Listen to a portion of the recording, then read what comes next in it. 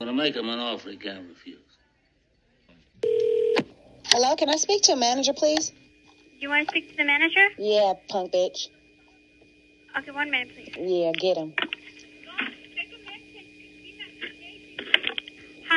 Um, I'm sorry, can I take a message? She's not here right now. no, you can't take a message. I heard that bitch in the background. I got a roach leg on my motherfucking dinner. Oh, she would want to get on the phone right now. You tell her that in the, The background. manager is the gentleman. That was the host. Uh, well, tell the hostess. Fuck the hostess. take a message No, she can't take. She can't take a message for the manager because I got a fucking roach body and my motherfucking food, and somebody is gonna do something about it.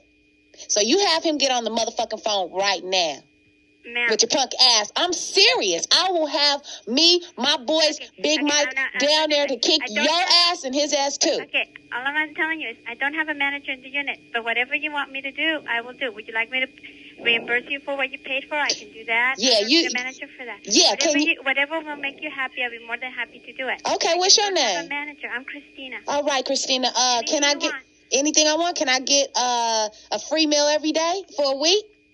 For a whole week, I Yeah. can guarantee a whole week. But if you come in, I can give you whatever you want right now. All right. What if I want some pussy? Huh? What if I want some pussy? You want some turkey?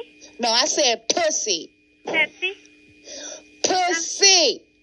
Can I get some of that?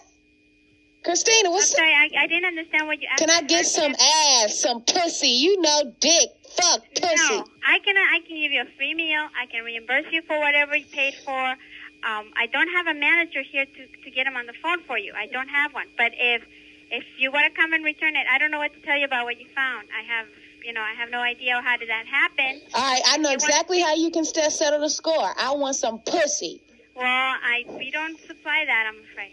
All right, then, Christina. We serve food. I mean, I'm Uh, sorry. All right. You know. I'll be down there. I'll be down there to, to get my shit.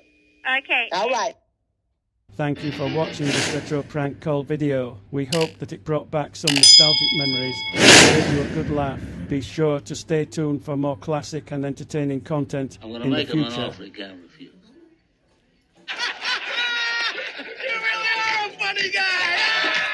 Duh. 47. What? You're kidding me. No